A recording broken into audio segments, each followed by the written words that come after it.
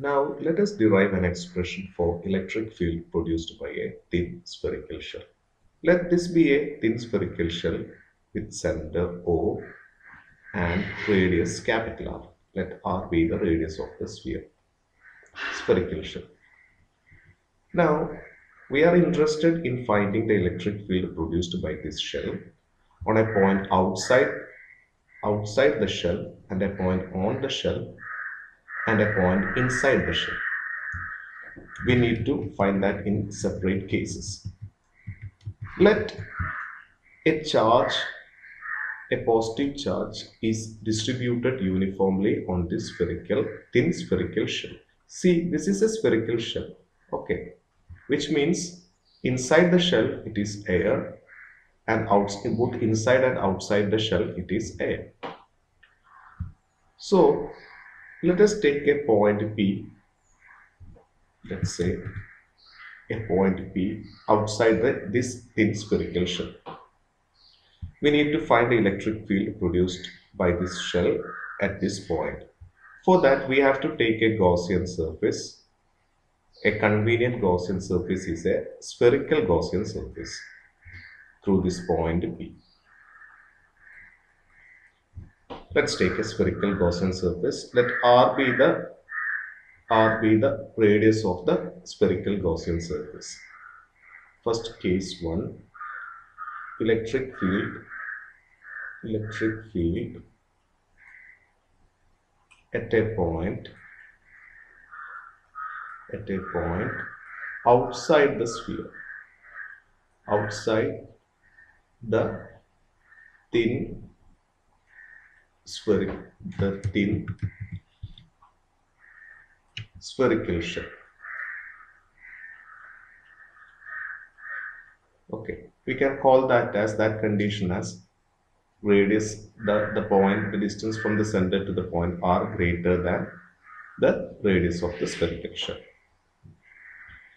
let q be the let q be the charge the total charge on the sphere. Charge on the shell. Now we can take a small area small area ds around the point p. Let's call that as that area as ds. And you know the direction of ds will be perpendicular to the surface like this. This is the ds.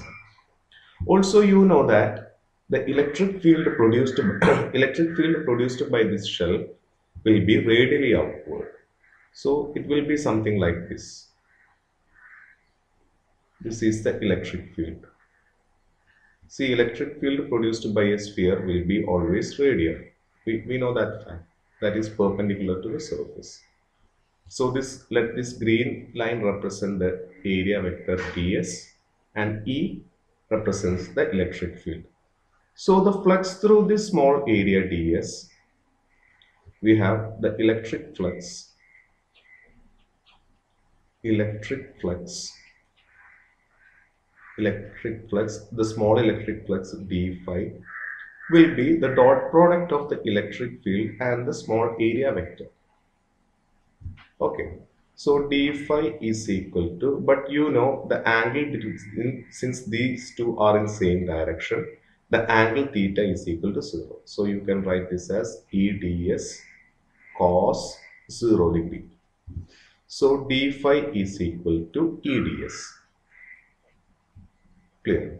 So in order to get the total flux let's say phi what you need to do is integrate this one integral eds that is equal to but you know the fact that electric field is spherically symmetrical.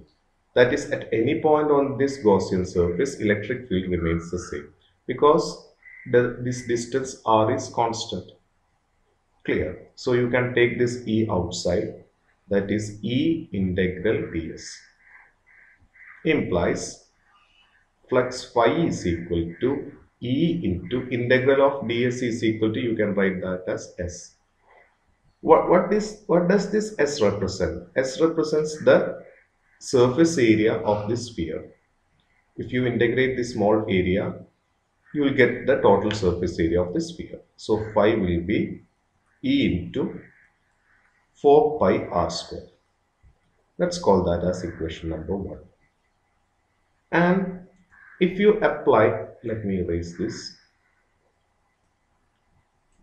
And if you apply Gauss's law in here, apply, apply Gauss's law, you have flux phi, electric flux through this Gaussian surface will be 1 by epsilon 0 times the charge enclosed by the surface. The Q is the charge enclosed by this Gaussian surface. That is the charge on the sphere. Let's call that as equation number 2. Equation 1 and 2 are equal since both of them represents the electric flux. You know 1 equal to 2 which implies E into 4 pi r square is equal to 1 by epsilon 0 times q or you will get E is equal to you can take this to the bottom 1 by 4 pi r square q by epsilon 0 or you can write this as E equal to 1 by 4 pi epsilon 0 q divided by r square. So this is the expression for electric field produced by a thin spherical shell outside it. Okay, but if you closely look at the equation, let me erase this. Suppose if you place a charge, suppose if in this in this in this figure, if you place a charge q at the point O and the distance r remains the same and if you take the point P, then the equation of the electric field produced by this charge at the point P will be E equal to 1 by 4 pi epsilon 0 q divided by r square. So that means this condition or the electric field produced by this sphere, thin spherical shell at this point is same as that of the electric field produced by a point charge placed at the point O. Clear? So these two conditions are similar. Now we need to find the electric field produced by this thin spherical shell on its surface. That is case 2 electric field electric field on the surface of the sphere surface of the spherical shell spherical shell. Let's say again we have to take that positive charge. Let Q be the positive charge, total charge placed on the sphere and always it is distributed uniformly. Let R be the R be the radius of this thin spherical shell and let's take a point on the sphere or at a point very close to the surface of the sphere. This point is almost on the surface of the sphere. So there is a there we have to take a Gaussian surface Gaussian surface through this point B that is very close to the surface. See there is no separation almost no separation between the Gaussian surface and surface of the sphere. So let the distance let's mark that point with with this green color. Let r be the r be the distance of the point p from the center of the sphere. We can take this r approximately equal to the radius of the sphere so this is the case if you represent that mathematically again you take a Gaussian surface not a Gaussian surface a small surface ds at the point p its direction will be like this. Again, if you take the electric field, it will be radial and that is along the same direction as that of ds. Just mark that as a vector ds. Now we have the small flux d phi. d phi represents the small electric flux is equal to E dot ds. Okay in order to get the total flux you have phi is equal to uh, no before that we have d phi is equal to since the angle between this e and ds is 0 you can write that as e ds cos 0 so d phi will this is equal to e ds now in order to get the total flux you must integrate this eds again if you look at the electric field at every point on the Gaussian surface the electric field remains the same because the distance remains constant r. That is, it is spherically symmetrical. So that you can take this E outside. So E integral ds. So phi will be into integral of ds is s. So phi is equal to E into 4 pi r square. Again, if see this r is this r is almost equal to the radius of the sphere. That is, this Gaussian surface is very close, close to the surface of the sphere. So, phi can be written as E into 4 pi r square. Clear. Let's call that as equation number 1. Now, applying Gauss's law, again, applying Gauss's law, we have flux phi is equal to 1 by epsilon 0 times q. This is the Gauss's law. Gauss's law. Let's call that as equation number 2. So comparing 1 and 2, 1 is equal to 2 implies E into 4 pi r square is equal to 1 by epsilon 0 q. That gives the relation E is equal to 1 by 4 pi epsilon 0 Q divided by R square. Clear. So this is the electric field on the surface of the electric field produced by this thin spherical shell on its surface. And this equation can also be written as E is equal to Q divided by, you can write this as 4 pi r square into 1 by epsilon 0. Clear. This can also be written like this. So what is this quantity q by 4 pi r square? Charge divided by surface area. You know sigma is the value that is charge divided by surface area. Surface area which means the surface charge density. Sigma represents the surface charge density. So E can be written as sigma by epsilon 0. So on the surface we can we can write the electric field as sigma by epsilon 0 where sigma is the surface charge density of the thin spherical shell. Clear? Now we need to find the electric field at a point inside the thin spherical shell.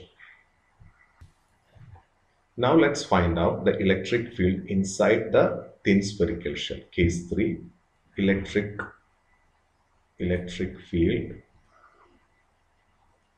inside the spherical shell. Spherical shell. Again, this shell is uniformly charged with a positive charge. Let's take a point P let's take a point P in the interior of the in the interior of the shell O be its center so that its radius this is the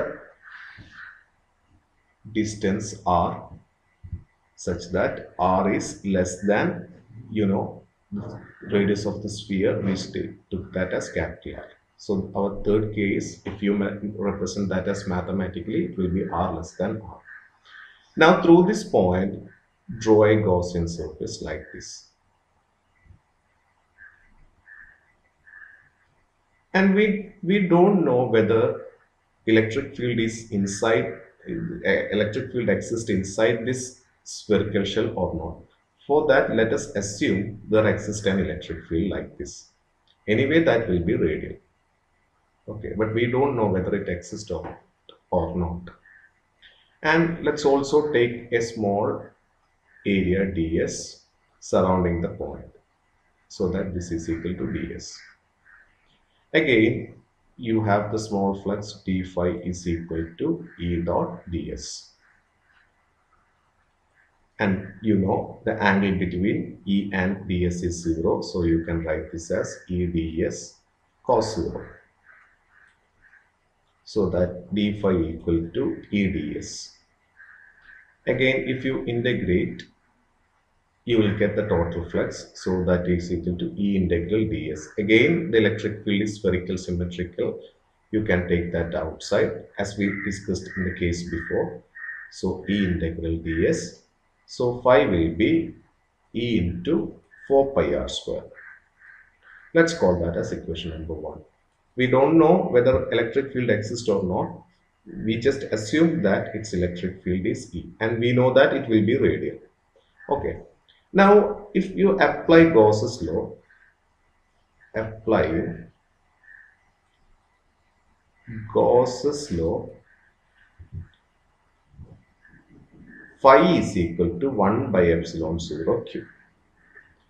But if you look at the value of q, since inside this green Gaussian surface there is no charge. The charge is only outside this Gaussian surface. So q is equal to 0. So that will give phi is equal to 1 by epsilon 0 times 0 that is equal to 0. Let's call that as equation number 2. Now it is clear. If you get the equate the equation 1 and 2, you will get 1 is equal to 2 represents equation 1 equal to equation 2 implies E times 4 pi r square is equal to 0 or E equal to 0 divided by 4 pi r square. So the electric field is 0. So electric field in the interior of a thin spherical shell, a charged thin spherical shell is 0. So these are the three cases. Clear?